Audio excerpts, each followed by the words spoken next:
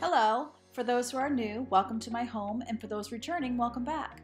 Today I'm decluttering and maximizing hidden storage in my home.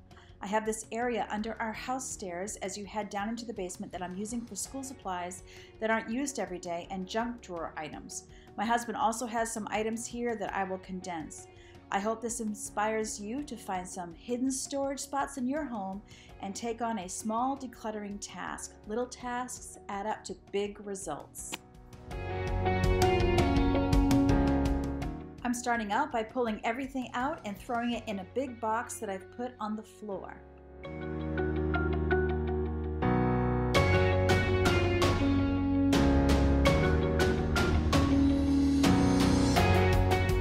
That, my friends, is an empty Dunkin' Donut cup. Areas in your house have you turned into storage areas? If you could, leave it in the comment section below. I know it will help all of us as we look for those areas in our own home.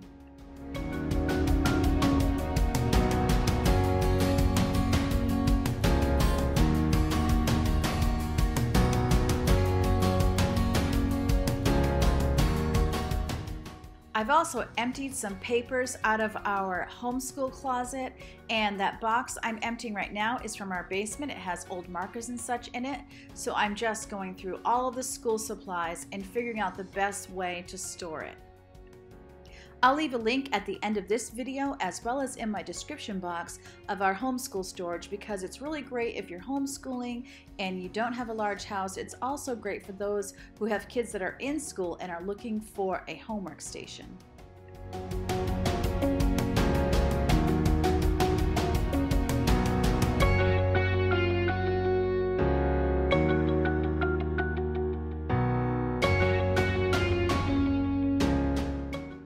Lined paper here and then I also have cardstock that's colored and I also have computer paper. It was all in one giant pile in the homeschool closet and was getting ruined so I'm separating it out. I found these paper organizers in my basement that I used years ago. So I'm getting this organized so that things aren't getting ruined the way they were before and then I'll be putting the computer paper underneath our printer in the dining room where we homeschool.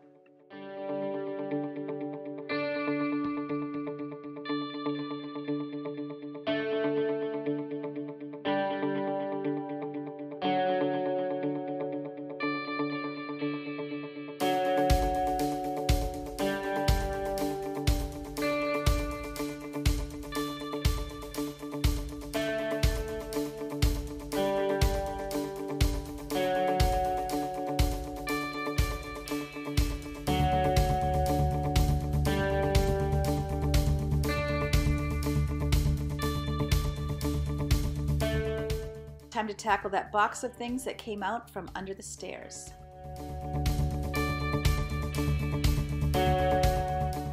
As I get one thing organized, I put it back on the shelves. That way it's a lot easier for me to declutter the rest because I don't have so much that's on that island.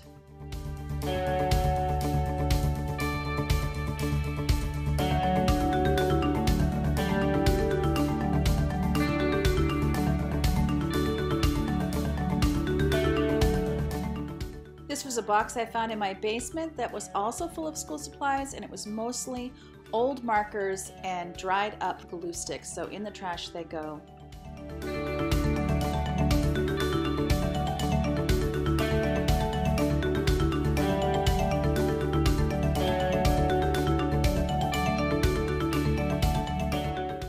This unused photo box made a perfect place to put markers and colored pencils.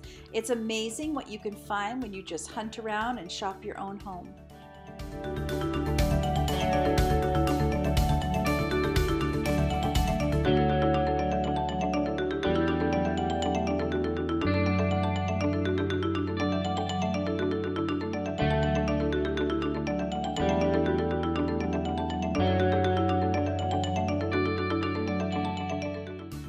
Pulling out Valentine cookie cutters and the rest go in our kitchen storage in the basement.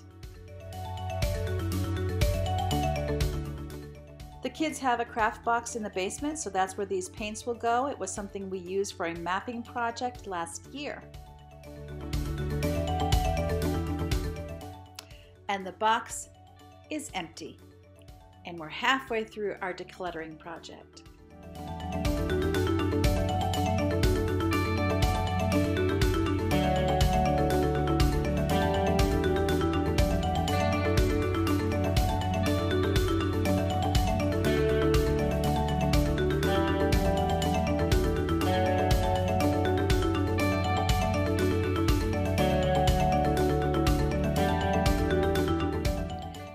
A box of school materials that we use more frequently and I like to keep handy. So I'm just going through it and I'm making sure there's nothing in there that shouldn't be in there. Decluttering is ongoing and even things that we've organized in the past need to be revisited again and again over time.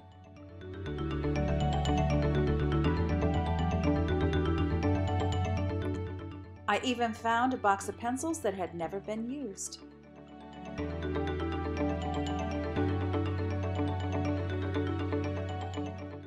Cat never likes to be left out of my cleaning projects.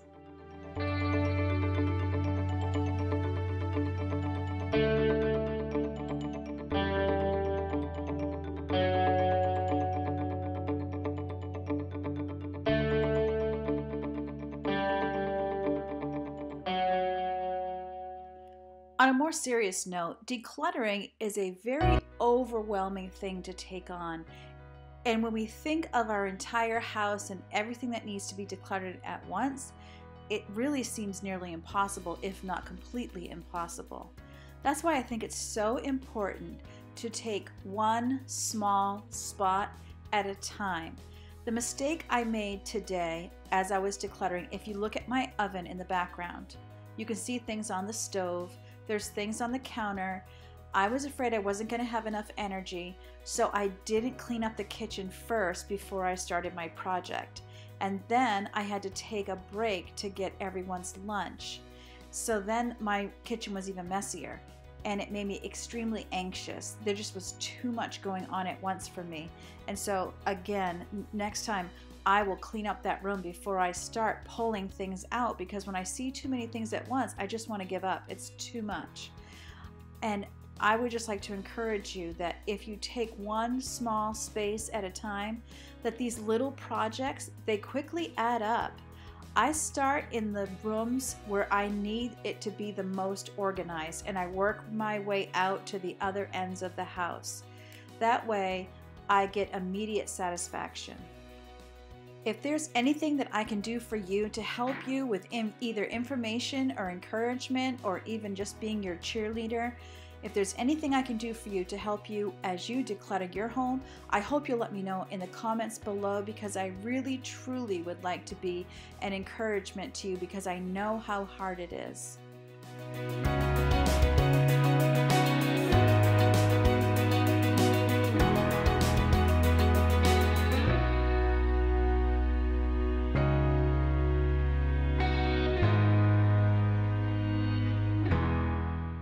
I'm decluttering some things that belong to my husband and I'm really not decluttering because I'm not going to get rid of his things. So what I'm doing is I'm condensing them and I'm putting them in a box so that if he asks for them, I know right where they are. Now's the best part. I'm just putting everything back. I'm putting things in their new home and I'm just so happy and excited to have this done. It looks so good. I know where everything is and it's all decluttered and organized. But don't click off until I have a chance to pray for you. Lord, I just pray that you be with each person who's watching today. I know there's areas in their home that they'd like to see more organized and decluttered. I pray you give them the motivation and encouragement to take those tasks on. Help them to take it one small step at a time and to be encouraged as they see things improving day by day and project by project. In Jesus' name, amen.